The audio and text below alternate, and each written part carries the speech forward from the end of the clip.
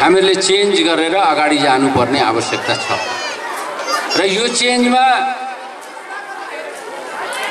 या त सङ्घीयतालाई चुस्त दुरुस्त बनाऊ अधिकार सम्पन्न गरौँ अधिकार दिउँ।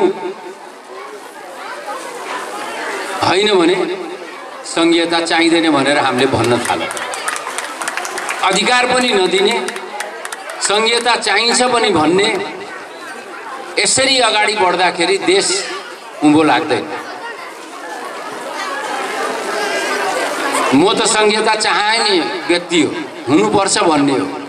तर यस्तै सङ्घीयता राख्ने हो भने किन के को लागि सङ्घीयता भन्ने प्रश्न तपाईँहरूको मनमा छ हाम्रो मनमा छ यसले धेरै खर्चाहरू अहिले त ऋणबाट चलिरहेको छ बच्छ कि बचत हुन्छ कि भन्ने हामी सबैलाई लागेको पनि हुनसक्छ तपाईँहरूलाई पनि लागेको हुनसक्छ।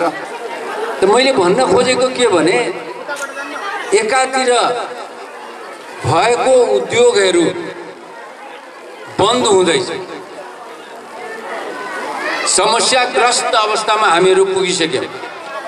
अर्कोतिर चलिरहेको उद्योगहरूलाई लाइन काटिदिएर बन्द गर्ने अवस्था सृजना भयो।